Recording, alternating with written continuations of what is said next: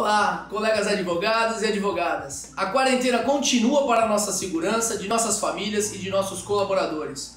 Mas nem vivendo um momento tão delicado para todos, o AB Santos deixa de trabalhar na defesa de nossos inscritos e de toda a sociedade.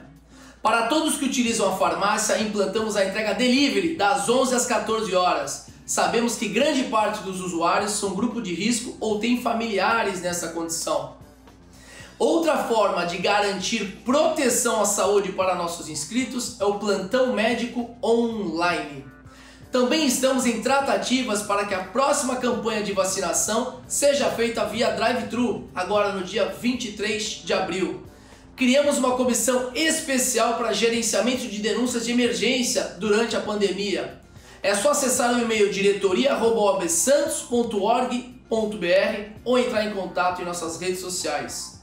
Em acordo com a Sicredi, conseguimos benefícios para pessoas físicas e jurídicas, como linha de crédito com carência de até 120 dias. O pagamento de precatórios é direito de toda a sociedade.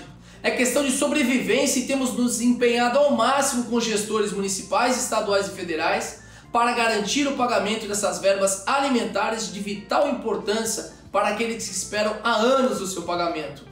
A advocacia é uma atividade essencial nos termos do artigo 133 da Constituição Federal.